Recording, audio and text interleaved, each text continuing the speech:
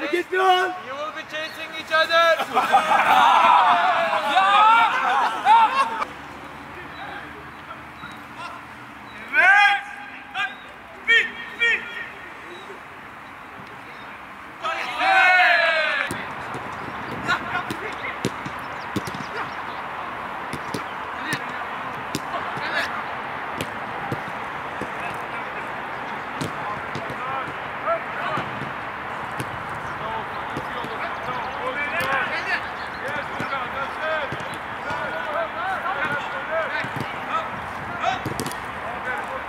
Tamam tamam biraz sonra beyler bir dakika 15 dakika saniye sonra siz giriyorsunuz. Bir dakika 15 saniye sonra.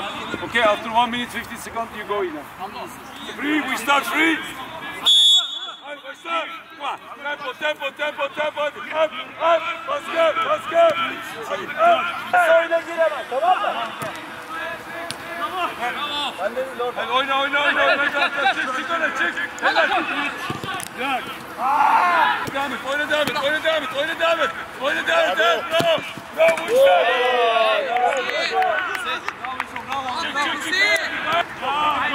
Afrika dolar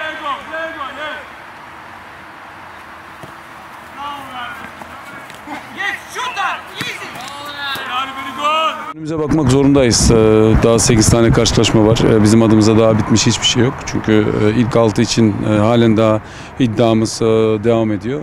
Bunu en kısa zamanda bu 6 içerisindeki yani avantajlar zaman zaman elde edemedik. Çünkü o fırsatları çok fazlasıyla yakaladık. Ama maalesef elde edemedik. Ee, Biraz işimizi zora soktuk. Bu da yani biraz da gerçekçi olmamız gerekiyor ama e, zoru başaracağımıza da inanıyorum ben. E, bunun için de e, gecemizi gündüzümüze katıp e, bunu gerçekleştirmeye çalışacağız. E, rakibimiz son haftalarda e, çıkışta olan bir bir takım. E, ama skor olaraktan hep böyle çok büyük skorlara değil ama yani organize olan e, bir takım. Bu da almış olduğu skorda net bir şekilde gözüküyor. İşte 1-0'lar, 2-1'ler e, çok farklı so- sonuçlarla değil ama e, organize bir şekilde. Ee, zaafları e, var, artıları var. Bunları bugün e, oyuncularımızla e, analizde de tekrar bir daha paylaştık. Bugünkü çalışmamız, yarınki çalışmamız da bu doğrultuda olacak. Ümit ediyorum pazar günü güzel bir sonuçta tekrar buraya dönüp e, ondan sonra e, içeride oynayacağımız Eyüp e, karşılaşmasına güzel bir şekilde hazırlanırız. Sakat oyuncular. Evet sakat oyuncularla ilgili yani Fofana yaklaşık bir 10 gündür takımdan da ayrıydı. Yani geçtiğimiz hafta siz de biliyorsunuz sakatlığından dolayı e, yani oynatamadık daha doğrusu. Daha fazla süre veremedik çünkü e, oynatmış olsaydık belki sezonu kapatacak düzeye gelecekti. E, bundan dolayı onu e, işte maçın son 20-25 dakikasında ancak e, değerlendirebildik. Ama bugün itibariyle takım idmanlarına katıldı. E, ümit ediyorum ki bugün yarın e, yapacağımız idmanlarda eğer herhangi bir reaksiyon vermezse bize pazar günü e, mutlaka tekrar katkı sağlayacaktır.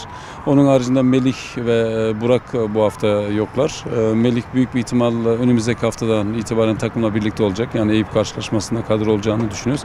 Ama Burak için maalesef aynı şeyleri söyleyemeyeceğim. Çünkü sizin de bildiğiniz gibi sezonu kapattı. Anladım. Hocam 8 maç kaldı. Hepsine taarruz ama gerçekçi olacak olursak kaç galibiyet Samsunspor'u playoff'a getirir? Yani kaç galibiyet? Ben e, yani şu anda bizim puanımız e, 42 yani 55-56'ların e, playoff'a kalacağını düşünüyorum. Yani 53, 54, 55, 56 diye hatta o zaman da söylemiştim bundan kaç hafta önce. Çünkü t- yukarıdaki takımlar yani playoff aday olan takımlar hep kendi bir aralarında oynayacağı için e, yani alınacak o tabii şu andaki görüntüye göre yani sonuçta 3 hafta sonra belki değişik şeyler e, söyleyeceğiz. Yani bunu öngörmek aslında bu ligde biraz zor. E, çünkü herkes yarış içerisinde olduğu için öngörmek zor. Ama biz e, bunu gerçekleştirmek için e, elimizden geleni yapacağız.